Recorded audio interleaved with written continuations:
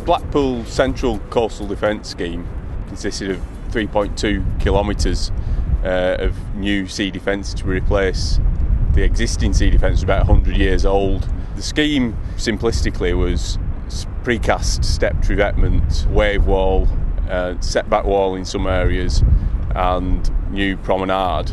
The project started on site in 2005 uh, and the most recent phase was, was completed in June of this year. The Topforce product and the other products Tarmac developed for this scheme uh, lent themselves in particular to the aesthetic quality that was required. Over the 3.2 kilometres, as you can imagine, maintaining the consistent colour, uh, the unique colour for this scheme was a challenge. Uh, and also for the promenades, the use of coloured aggregate along with uh, the coloured concrete was critical importance. The use of synthetic macro reinforcement on this project was a huge benefit, primarily because of the durability characteristics. Clearly, the removal of steel reinforcement in this harsh environment was an advantage for the design life and the durability of the structures.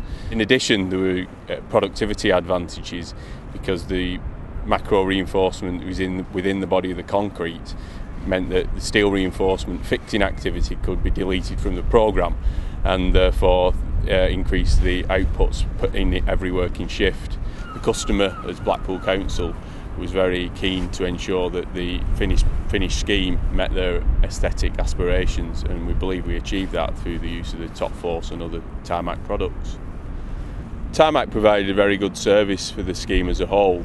They dedicated uh, a batching plant to the scheme, but they allowed us to give consistency of quality and finish both for the site works and for the precast elements that were manufactured at the factory dedicated to this project five miles up the road. The technical support provided for the scheme was invaluable, uh, particularly to deal with the evolving needs and problems as they arose due to climatic conditions, weather conditions, and changing customer requirements. This proved invaluable to deliver the scheme on time to the required quality.